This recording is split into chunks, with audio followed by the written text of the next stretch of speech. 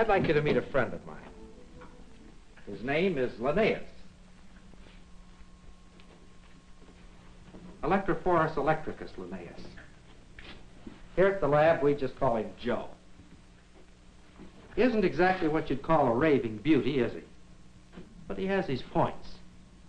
For one thing, he's quite a swimmer. Notice the wave motion of the long ventral fin. As the waves travel toward the rear, the eel is propelled forward. Reverse, the waves travel toward the head. How about ascending and descending? Well, to ascend, he merely starts waves at the center, which go both ways.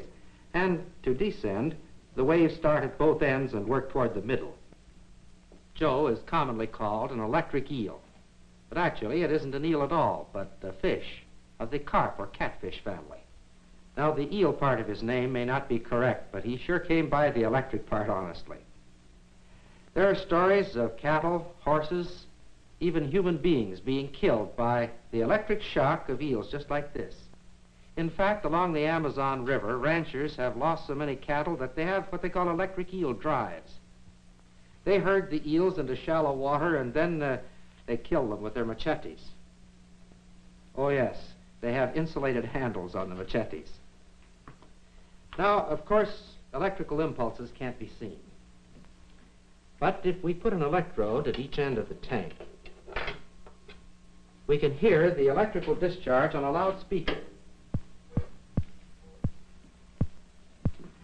Now, those gentle pulses are part of the eel's radar system. In some mysterious way, he uses them to locate his food.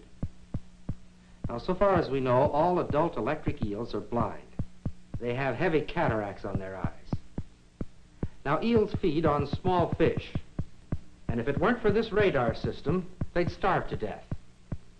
Now, when an eel locates a fish or uh, when he is disturbed,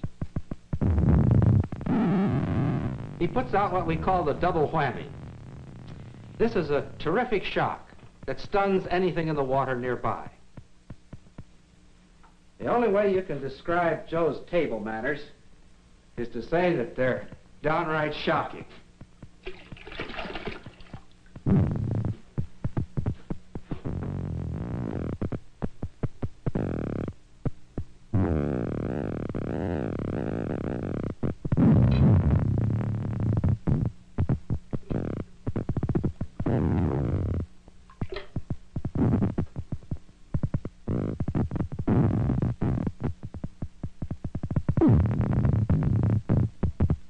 Electric eel, unlike most fish, is an air breather. It must rise to the surface from time to time for air. For this reason, he can be quite comfortable out of water.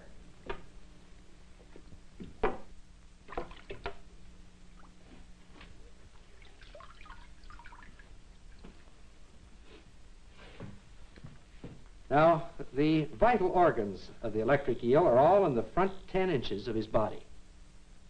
The rest is pure power plant. And believe it or not, he can generate more than 500 volts.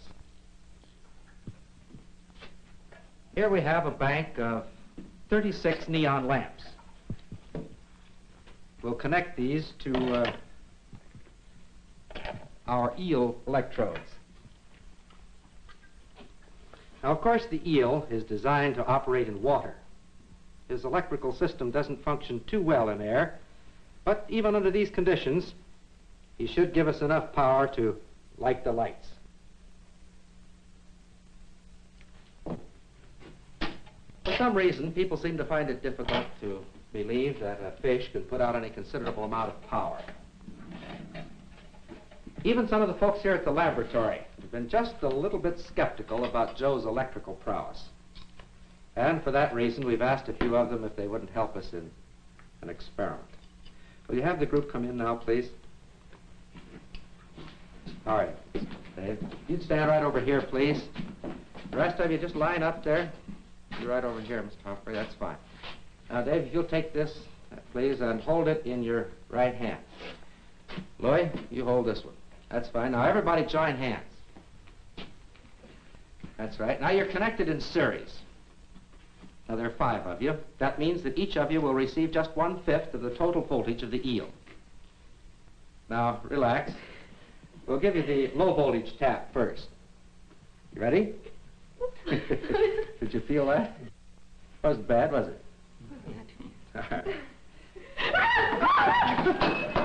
uh, ladies and gentlemen, I'd like to have you meet a group of confirmed believers in electric eels. Thank you very much. Now, where did that electricity come from? Strange as it may seem, the eel's electric tissue is made up of cells very much like the cells that make up the nerves of our own bodies. These cells are called electroplaques. Here is a crude model of one of these cells. Actually, the electroplaque is a tiny battery, 1 25th of an inch thick. Now, in a flashlight, there are three cells. Each cell generates one and a half volts. Three of them in series produce the four and a half volts necessary for the lamp. The eel's battery produces one-tenth of a volt. Ten of them in series will produce one volt. Well, at this rate, it would take 5,000 of these to produce the 500 volts of the eel. Well, he's got them and then some. An eel like Joe here probably has 250,000 electric cells. Connect them in series, 5,000 of them, and you have the 500 volts. The rest of them are connected in parallel to build up the current capacity. Now, each one of these tiny batteries has an electronic switch controlled by a signal sent along the nerve fiber connected to it. When an eel wants to shock something, it throws hundreds of thousands of switches all at once just by thinking about it. But what to me is even more amazing is that when Joe's battery is run down, he can recharge them, all of them, in just a thousandth of a second. That's quite a power plant, isn't it? The eel's electrical system is composed of three main parts. The first is called the large electric organ. This is the source of the eel's main voltage. Now, the function of this organ, called the organ of Hunter, is still somewhat of a mystery, although scientists believe that in some way it works with the large organ in producing the double whammy. This organ, called the bundle of Sachs, is to me the most wonderful. It has been definitely identified as the source of those mysterious radar pulses. In other words, this is the power plant for the EELS radar transmitter. Now, of course, a radar system must have a receiver also. Do you notice those pits located in rows along the front part of the eel? The other night I was in New York City talking with Dr. Christopher Coates, director of the New York Zoological Society. Dr. Coates is the world's foremost authority on electric eels. He performed an experiment recently that seems to indicate that those pits are a definite part of the eel's radar receiving system. Now, if Joe is willing to cooperate, we can perform a similar experiment here. The problem is to render Joe's radar system temporarily inoperative. Now, if we paint these pits with an insulating liquid, and if these pits have anything to do with the radar apparatus, Joe will find it very difficult to locate a fish. Oh, he won't go hungry. This is a liquid that will wash off very rapidly.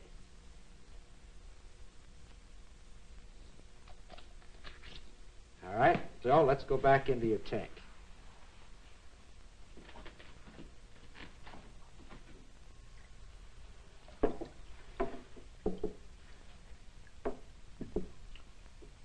That's right. Come on out now, like a good fellow.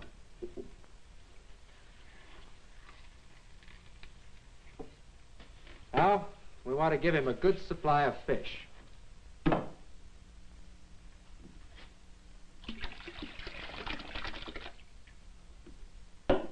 All right, Joe is surrounded by his favorite delicacy, baby trout. But for the next few moments at least, those fish are just as safe as if there weren't an electric eel within a thousand miles. You see, uh, Joe's is on the blink. Oh, his uh, transmitter's working all right.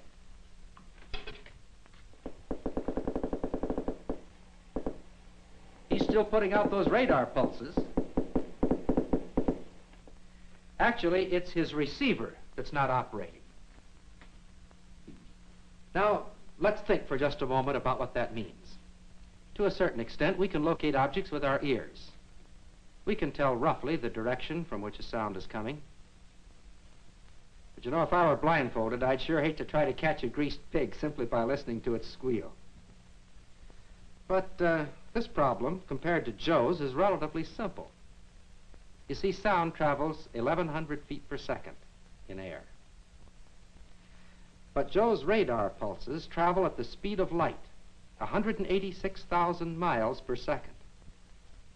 This means that an electric eel's radar system must be able to interpret time difference that is less than one billionth of a second. This is so amazing as to be almost beyond belief. Yes, Joe, you're quite a fellow. You may not win any beauty contests, but you've given us a lot to think about. You've given us a new understanding of the God who made us all.